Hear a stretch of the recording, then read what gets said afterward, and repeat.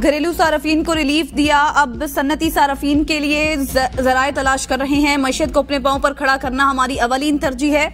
कायद नू लीग नवाज़ शरीफ का लाहौर में नू लीग के मुशावरती इजलास का खिताब, कहा नू लीग ही आवाम को बिजली के भारी बिलों से निजात दिलाएगी। पीटीआई की नाकिस पॉलिसियों ने अवाम को महँगी बिजली और महँगाई में धकेल दिया। नू लीग वाहिद जमात है जो मुश्किल तरीन हालात में अवाम को रिलीफ देना चाहती है। बिजली बिलों मीशत की मजबूती के लिए जो करना पड़ा ज़रूर करेंगे।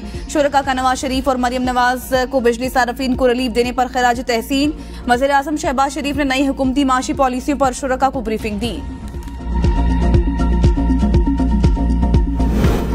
समुद्री तूफ़ान असना कराची से दूर होने लगा। समुद्र में ही कमज़ोर होकर खत्म होने का इम्कान। महकमा मौसमियात के मुताबिक तूफ़ान बहिरा अरब के शुमाल मशरक में मौजूद है और बलोचिस्तान की साहिली पट्टी की जानब बढ़ते हुए तूफ़ान का रुख ओमान की जानब होगा। तूफ़ान का किसी साहिल से टकराने का इम्कान नहीं। सिंध और बलोचिस्तान की साहिली पट्टी के मुलहका इलाकों में तोहयानी का खदशा। माहिगिरों को कल तक समुद्र में न जाने की हिदायत।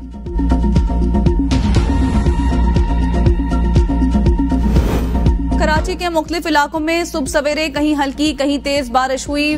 बिजली के पोल और दरख्त उखड़ गए। Nazimabad Saddar Kharadar Defence Korangi, Qayyumabad, Nursery, PECHS और तारिक रोड समेत मुख्तलिफ़ इलाकों में बारिश हुई।